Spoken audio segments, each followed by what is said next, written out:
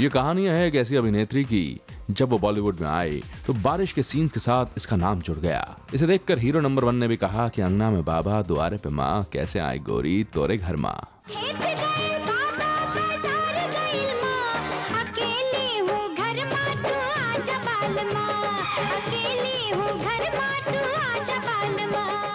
नाम है इनका शिल्पा शिरोडकर जन्म हुआ था 20 नवंबर सन उन्नीस सौ उनहत्तर में। इनकी छोटी बहन है मिस इंडिया नम्रता शिरोडकर। इनकी दादी मीनाक्षी शिरोडकर एक जानी मानी अभिनेत्री रहीं और इन्होंने हंगामा मचा दिया था मास्टर विनायक की फ़िल्म में, जब ये स्विम सूट पहने नज़र आई थी सिल्वर स्क्रीन पर।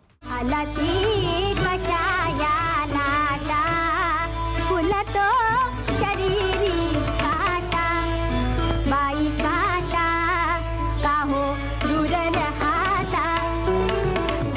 शिल्पा शिरोडकर, जब एक टीनेजर ही थी, तब रमेश सिप्पी की फ़िल्म भ्रष्टाचार में नज़र आई थी। साल था सन उन्नीस सौ उनासी।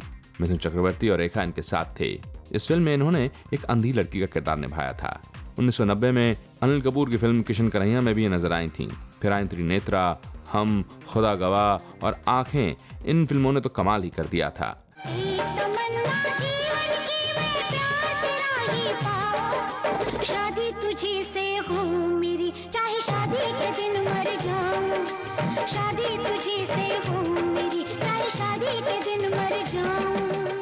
पहचान गोपी किशन बेवफा सनम मृत्युदंड हर जगह शिल्पा शिरोडकर अपना सिक्का जमाती जा रही थीं।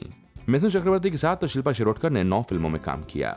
खबरदार जो हमारे साथ हवालदारी दिखाई तो। शोर मचाई के सारे गाँव को इकट्ठा कर लेंगे। बेशरम कही के पहले तो कुआरी लड़की के घर माँ छत से भीतर आवत हो और ऊपर से कोतवाली दिखावत हो एक गौरी शंकरा तोहे तो ई गलती का जुर्माना देना ही पड़ेगा रे। कुछ प्रोड्यूसर डायरेक्टर्स के साथ इनका नाम जोड़ने की कोशिश की गई लेकिन सन 2000 में शिल्पा शिरोडकर ने वो काम कर दिखाया जिसकी कोई उम्मीद न कर रहा था। शिल्पा शिरोडकर तेरह बरस के लिए हिंदुस्तान से दूर चली गईं। सूरज छोड़ दो उस नशे की आदत को। जो मेरे साथ हुआ अगर अगर कल जाकर तुम्हारी छोटी बहन भारती के साथ हो तो कौन करेगा इसकी रक्षा? बॉलीवुड फ़िल्म इंडस्ट्री को इन्होंने अलविदा कह दिया। शादी कर ली इन्होंने अपरेश रंजीत से, जो कि एक बैंकर रहे। शादी करके ये चली गई नीदरलैंड्स वहाँ से फिर गई न्यूजीलैंड और सन 2003 में इन्होंने एक बेटी को जन्म दिया, नाम रखा अनुष्का। पर बहुत बरस तक बाहर रहने के बाद इन्हें लगा कि जाना होगा वापस, और अपने परिवार के साथ ये हिंदुस्तान की सरजमी पर लौट आई।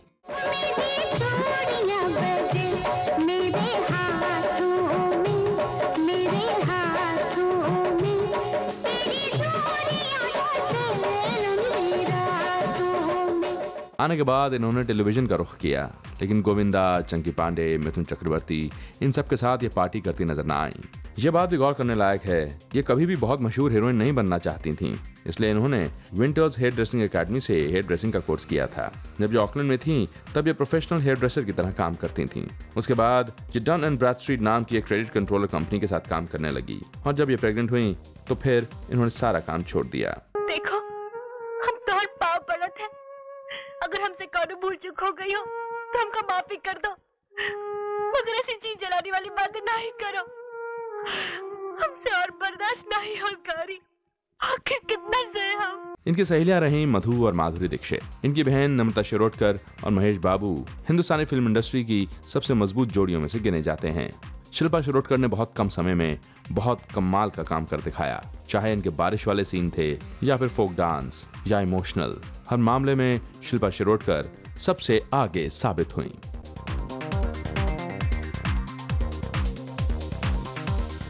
महान प्रतिभाओं के जीवन के बारे में जानने के लिए सब्सक्राइब करें पीपल एंड हिस्ट्री